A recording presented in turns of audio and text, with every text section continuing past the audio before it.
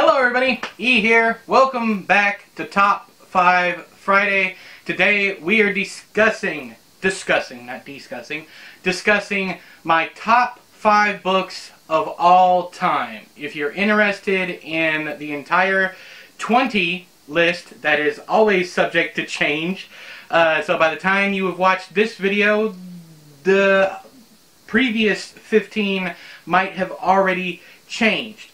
But this is numbers 5 through 1 or 5 through 1. This one is easier to remember. It's a running joke with this series so far that I it's easier to remember, you know, the top, you know, 5, 4, 3, 2, 1 than it is to remember, is this 20 through 15 or 20 through 16? What, you know, so anyways, the end of this theme now is, it's much easier here at the end. We have 5, 4, 3, 2, 1. So, just to jump into it, after all that, we have at the number 5 spot, You by Caroline Kepnes. Uh, this is funny actually because I brought up another book and I thought that You would be a perfect example of that book. Um, I think it was uh, John Irving's uh, The World According to Garp.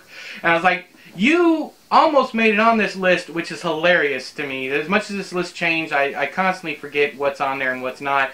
But you has been on this list ever since I first read it. It has slowly climbed up because I realized just how good it actually is. And after reading the sequel, Hidden Bodies, it just every time I read this book or listen to it, uh, it just raises my opinion that much farther. And Caroline Kepnes, Caroline, if you ever watch this, was Anita Brookner one of your inspirations? I, I gotta know. Maybe I'll hit you up on Twitter. Um, anyway, so why is you on this list? What makes you so special to me? Um, it is the the the way that you come to care and love and empathize and sympathize with this complete monster. Joe Goldberg is not a good person. Um, especially the way this book ends. Um, if you're cheering at the end, first off, there's something wrong with you. Uh, second off, it it's it was she. You you just have to stop for a second and go. You know what? They had it coming. That that that kind of thought right there automatically makes puts this on this list. When you can. Uh, when you can understand, maybe you wouldn't have reacted the same way, but when you can understand the motivations of the bad guy, even if they're completely batshit crazy, that's damn good writing. And the reason this is on this list because I love reading stories about people, bad people doing bad shit, and getting their comeuppance, or being left alone to carry on to continue doing their dirty deeds. Um, as long as there's eventually going to be some kind of, of ending. And I feel, I trust, I now trust after reading uh, You, Hidden Bodies, and her third novel, Providence, which isn't, has nothing to do with the Go Joe Goldberg series, but it is a fantastic novel, and I suggest you check it out. I, I trust Caroline Kepnes with this series. I know that she is not going to let me down like, let's say, the, the Jeff Lindsay uh, Dexter series did, or any number of books that I have read, because I am here for the writing. I am here for Caroline Kepnes's uh, side characters as much as her main characters. She's fantastic with all of that. But the reason why she's on this list is because she had me rooting, empathizing, and sympathizing, and even coming to love and enjoy his company the villain is the best part of this book. Um, and it also gives you, uh, as a, you know, I like to give uh, the other side of things, but if you have a chance, read these two books back to back. You, well, you and Hidden Hidden Bodies, and then read Our Kind of Cruelty by Araminta Hall, and see if you don't get a, a, a, a much deeper experience for your efforts. Uh, maybe even also throw in, start with Gone Girl, read you, Hidden Bodies, and then Our Kind of Cruelty. Mm, excuse me. Our Kind of Cruelty. That's probably what I'm going to do in the future. I'm just going to binge all four of those books back to back because I believe that those four books really help each other out. Um, more than even them just standing alone because you was a great response to the psycho woman story of Gone Girl and then our kind of cruelty is a great response to you and Gone Girl Araminta Hall did a fantastic job with that. But yeah, villains. I mean, there really is no better individual human villain that I can think of. And yes, I like Joel Goldberg more than I like Annie Wilkes. Put that in your pipe and smoke it. All right, at number, actually, that was number four. Y'all, I'm, I'm out of, I, I stacked them the wrong way. I apologize. So that was number four. Going back, that was number four. Maybe I can cut this to where that screw up isn't there. Probably not. I ain't got the effort or time to be doing such things. At the number five spot is After Dark by Haruki Murakami. Um, this book did things with perspective that, first off, I didn't think. I, I was actually told a long time ago if you write like this, if you do what Murakami does in this book, no one will read it, no one will like it. Um, no one, no one will buy it. No publisher is going to want it. Um, and now there's something to be said that uh, Murakami was uh, well established. I mean, this book was, I think, published after 1Q84. Um, if not, it was just before it. Um, and so he already had an established career. But if you go back to his stuff, he's got quite a bit of stuff like this. So maybe I'm just in the wrong genre uh, when it comes to things like this. But as far as the sections in, let's see here. Uh, yeah, eyes mark the shape of the city. Through the eyes of a high-flying night bird, we take in the scene from midair. In our broad sweep, the city looks like a single gigantic creature. I love that type of writing, but I've, I've been told by several people nobody reads that kind of stuff anymore, which is a shame because some great books open up like that, like Black House or Needful Things. There's some great fiction out there that takes like this bird's eye view of things. Now the whole book isn't written like that, just certain segments of it. And any of the TV segments, th those completely changed how I viewed the world of point of view. Um, if you want something stylistically challenging when it comes to, you know, you don't want your average everyday thriller, any of that kind of thing. Haruki Murakami is a, is a great author to jump into, but especially this book. He messes with point of view quite a bit, and that's the reason why it's on the list, is the stylistic choices for the point of view. I will, from for the rest of my career, I will be you know, screwing around with point of view because of this book. I'm trying to get myself right now out of a box of only third person and first person. I'm trying omniscient, I'm trying second person, I'm trying loads and I yes I know friends don't let friends write in second person, but I'm I'm trying it and I'm enjoying myself again. Whereas I was stuck in a rut with all the first and third stories. Okay, so sorry once again that was number four followed by number five. So we got five and four out of the way. Coming in at number three, and this is only because I had to shoot. I had to take this down from the. I'm not trying to show off. Um, I had to take this down from the shelves because I'm doing a special. Uh, a special, not unboxing, but a showcase of this. Uh, this is not where the wild things are. It is Nosferatu, NOS4A2, and the Wraith, the IW, IDW limited edition. And hang on, actually, it's probably gonna take something to. Anyways, it's NOS4A2. It's this one that you guys will be seeing up on the channel at some point in time. I've already filmed it. But this version, and that's how I know it's so stuck uh, stuck in there so well. But this version, um, you will see this uh, done in, in, another video where I break it down. But this book, in particular, um, I, I do love that, but I'm not including the Wraith comic, even though it's great. I'm not including that in my number three spot. The reason Nosferatu, NOS4A2, I'm just going to go ahead and say Nosferatu. The, the reason why this on this list is, list is for settings. It had some of the most unique settings I have ever come across. And I'm not just talking about uh, about Christmas Land. In fact, you don't get much Christmas Land. I could have used more Christmas Land. Um, but I think the book would have suffered had we spent more time in there. It is a great place to visit, not a place you want to live, that kind of deal. But um, I remember the library, it, the, the covered bridge, the place where Vic uh, initially goes to the, the diner she goes to, all these places stand out so well in my mind. The little town she walks through when she's standing in front of the glass of the storefront. Everything about this book is so vivid in my mind, and I have no idea why. Um, it's one of those books that I can close my eyes and it, it just the scenery will just pop into my head. seeing the children in the lake, all, all the different things in Christmas Land, those were fantastic. It's a massive accomplishment, I feel, what Joe Hill did with this book. And people who write it off as just another one of his father's books, his, father never, I don't think his father had Christmas Land in him. Christmas Land is Joe Hill's own thing, and it all comes from the same imagination who came up with the uh, the Locke and Key series, which I'm not a huge fan of, but I haven't finished either. So calm your breast meat down there in the doobly doo. Um, but this book, yeah, it's definitely it's all about the settings with this one. I think uh, the wraith is fine. Uh, so is the motorcycle. The characters are great too. Vic McQueen is one of my favorite characters of all time. But it's the settings that does it for me. The reason why this book is on this list is because I can see this book so clearly in my head.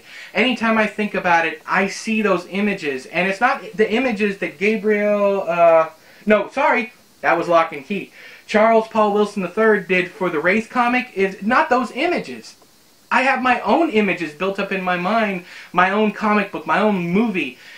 And that's one of the reasons why I'm not enjoying, and I'm going to say it, I'm going to say it here uh, first, because I don't think the uh, the showcase video I'm going to be doing next will come out before this one.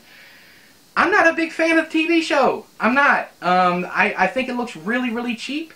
Um, probably about on the same par as the Shining miniseries uh, that they did with Steven Weber playing Jack and Rebecca De Mornay playing Wendy. I, it looks cheap. I mean, I don't know what else to say, man. It, it, feels bad. but it, it looks cheap. Um, and Zachary Quinto has, I, I was fully open to him playing Manx, but there, there's also somebody who said how cheesy he is in this show so far. Maybe it'll get better. I don't know. But I don't want to go into it. it the only reason I bring it up here is because people have been asking me, and I probably won't be doing a review of the show. I don't. That's why we stopped doing Castle Rock because I pissed all over Castle Rock. People were starting to get upset, so I just stopped. Um, but yeah, this is the number three spot for the settings. Um, that's the main reason it's on here. There, by no means is, is that the only reason why I love this book, though. I love every single piece of this book, but the settings are why it's on here. And now, at number two, finally to the last two, we have Night Film by Marisha Pessl.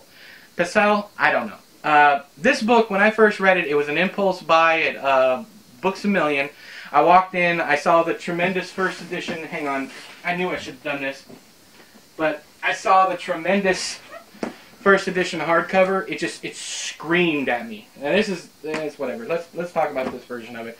So this thing just screamed at me. It's got that awesome rainbow tint, but it also had and I picked it up and looked at it and there's all these hang on, all this fake stuff. And this is why we're here. This is why we're here. Content, gimmicky content, when done right, I think can be done exceptionally well. I mean, well, I when done right is some of my favorite stuff. I didn't mean what I just said, but rewind. Um, gimmicky stuff like stuff in here and House of Leaves and that kind of thing. When when done right, it's some of my favorite content, man. Like I will get lost in these images, and I think the the author Marisha Pessl, I think she created all this stuff. I mean, stuff like that. I mean, that piques my interest and just keeps it in there. Um, or just, I mean, just pictures like this. I'm pretty sure that's Pessl's mother because it looks a lot like Pessl. It may not be. Um, things like this talking about Stanislav Cordova. There, but the the main that's why it's on the list. If we're gonna get down to the brass tacks or whatever you want to say, the reason this is on this list is for the gimmicky feel done right because I love stuff like that, stuff that is not your traditional novel experience that has either pictures or foldable material or whatever it might be. That's why I love this book because of all the extra doodads off to the side and that's why her newest book upset me so much because it felt like such a watered down premise. I'm hoping they're talking about her new adult novel. I'm hoping that's the, the dark side of Elsewhere Bend or whatever up there. But we're not talking about that. We're talking about this. I don't want to get off on another tangent. Um, I remember opening this and starting it and going, I this is going to be the only book I read for the next week or two weeks, and that's all I did is I dissected this book, went back through it, um, read it again right away. Uh, there is a scene on a bridge that has haunted me ever since I first read it. I will never forget it. Anytime you hear me talk about this book, I will always bring it up. It is one of the most horrifying scenes. It has no blood, guts, anything like that. Um, there's really no threat either. Um, it's all perceived threat. It's more dread. Um, there's a feeling of dread throughout the book, but this one scene is like the is like the pinnacle of dread, and then it's pretty much all downhill from there. There's still the box section, which is really fucking cool. But my favorite part of the book is the scene on the bridge, and it, it still gives me goosebumps to this day just thinking about it. Will you will, will your mileage vary? Probably it will, but from my from bang for my buck, it's a terrifying scene. Only scene that comes close to it really is in uh, Joe Hill's uh, heart-shaped box with the dude in the chair. Very simple scene, and that's kind of like this, but it's something on a bridge. Now, as far as the gimmicky aspect, yeah, I, I know when it's not done right, and when it's the major focal point of a story, it can get bothersome, it can feel cheaty, it can feel lazy. Uh, me, Earl, and the Dying Girl, I think that book did it uh, where they had some parts were in script form, some parts were, it just felt silly. And it was a book about cancer, so I don't think it was supposed to feel silly. Um, I didn't think it worked there. It worked in this one. I'm not feeling it as much. I pretty much go ahead and say now I, I quit House of Leaves. I, I can't get back into it. There, once you get to a certain point and you stop, there's really no getting back into that book. Some people say, well, just listen to the audio book. I, I don't I don't want to. I'm just not enjoying it. But this is one of the few times that I will say that a gimmick was nailed and done extremely right. Let me put this one back over here. I don't want a whole bunch of books sitting all over the place. Okay, finally, last but certainly not least, of course, of course, it's not least, it's the number one spot. And I chose, this came in just in time for me to film this episode. So uh, I'm going to hold up this version of it. Thank you again, Wayne. It by Stephen King. And yes, this is a first UK edition, first printing, for, it's a first edition, first printing, what we call a first first, um, of the UK edition. It's not the first printing ever. That would be the uh, US, the US hardcover. But this, it's also my favorite cover. Now, people ask me all the time, you know, why, of course, why, why it? You know, is it just because it's Stephen King? No. It's just because it's his longest book? It's not. The Stand is longer. Um, so many different. The whole reason this book is on this list is because of the complete and overall experience. I have never been so lost in a story. Now, I, I know I said uh, Christopher Buehlman's Those Across the River down on the bottom with a complete novel experience. This is a this is my favorite experience inside of a story, period. I, I can, I've reread this book. I'm here, sorry, if you guys heard any noise, that was the air conditioning kicking on outside uh, for the house. But every time I finish this book, I turn back to page one and I read it all over again. I never want to leave this story. And people who have a problem with him going on too long in this book or whatever, I feel are experiencing this book the wrong way. And I never say this about anything, I, I, uh, anything creative. If you actually take the time with this book and you look at the themes and the layering and everything that he accomplished with this book, there's something in this book for everyone. It's one of those books that I, I look at I look to you know to the one star reviews and if you're a writer, here's some advice for you. If you get bummed out over a negative review, go find your favorite book of all time and read the negative reviews and have a good laugh.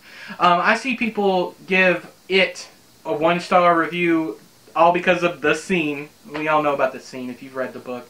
Um, say it ruined the whole experience for them. Um, I, I, find that strange, um, but there's, there, I mean, it takes all kinds, really.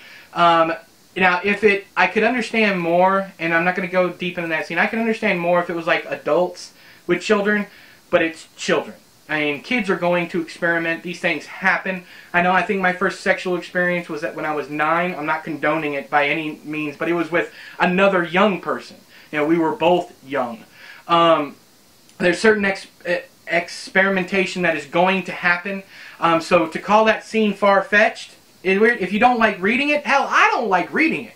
But I think it'd be worse if it was, you know, if adults were in that scene. I don't know, maybe I'm wrong, maybe I'm just talking out my ass, but it I, I've seen so many people say that that one scene ruined the whole book for them. I don't get that. It's like having one spoiled, uh, this is how I feel about it. It's like having one spoiled pea, one black pea, in a big ass bowl of peas. Just take the pea out, throw it away. Forget about it. That's what you can do with that scene. Just tell yourself, they got out of the sewer.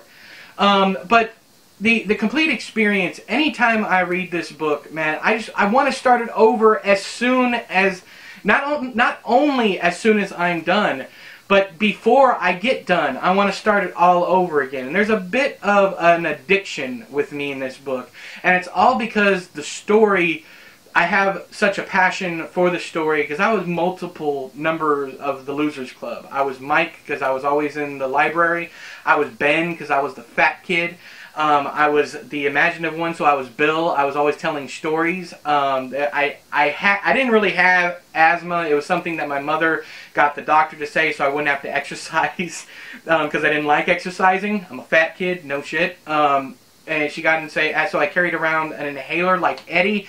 I mean, just about everybody except for Stanley and Bev, I had some kind of connection with. Um, and it's not all, all the time that you, you know, you might connect with one or two, but I connect with almost all of them. And as far as Bev, I mean, I even had a shitty father. I didn't have the kind of shitty father she had, but I had a really shitty father. Um, and I, if I if I dug enough, I could actually stand. I was raised in a very religious, very religious upbringing, and that's one of the reasons why I hate religion nowadays because I saw the shit that they that religious people use to cover up, you know, the the nasty shit in the world. Um, but to, to find some of yourself in every single character, in every single good guy in the book, meant the world to me. And to kind of, and to read the Adrian Mellon section, that shit came that came out in 1986, and here King was talking about gay bashing. You know, there's so many political stances that he takes in the book that would that would show up later on in his, in his life. You know, taking to Twitter this is the king. This is what King has has molded into. It's like we've watched him convince himself of the rights and wrongs of the world as we were watching him develop his own his own take. And you can say what you want about the man, whether or not you share his politics or not. I, I don't care one way or another. If you don't follow him on Twitter, that's fine. If you want to call him a, a SJW cuck, whatever you want to call him, it doesn't bother me any. But this this novel means the world to me. It is everything that I strive to be, to be a storyteller. It is everything that story means to me. My love for story. It is the reason why I tell the stories that I tell today. Why there's always a monster. Why there's always a human monster to go along with the supernatural monster. Why all of the characters may not be perfect. Why all these characters are their own broken selves, why I'm so fascinated with the world of horror and how horror is the least fascinating thing about the world of horror. But that's my top five uh, for now. Anyways, we'll see how it changes in the years to come. The, this top five hasn't changed since you came out, um, so I don't suspect it'll change anytime soon. Uh, we'll see with the release of the Institute. I doubt anything's ever going to top it for me, but with the release of the Institute, new Caroline Kepnes books, uh, new Joe Hill books, hopefully, hopefully, uh, you know, who knows what what's to come, man. And I am always open-minded about leaving these spots as loose as possible so that something can come along and overtake it. Um, usually that happens with uh, numbers 20 through six. Ah, I got it right this time. Uh, 20. Usually that happens with 20 through 6, sometimes number 20, sometimes it's number 6 that changes. But the top 5 usually stays the same. I'd love to know your top 5, top 10, top 20, top 100 books of all time. If you're linking outside of the site, uh, the spam filter might catch it, but link me anyways, and I check the spam filter once a week, and that's just because it's a URL leading outside of YouTube. If you have a video on the platform, please link me to it. I love I love these videos almost as much, the, the list as much as I love uh, book hauls. It's some of my favorite content on the site. But until next time, I have been E, you have been you, this has been another Top 5 Friday. I'll talk to you guys later. Bye-bye! And super secret spoiler ending. It's hot! That's literally it. That's all I gotta say. Bye.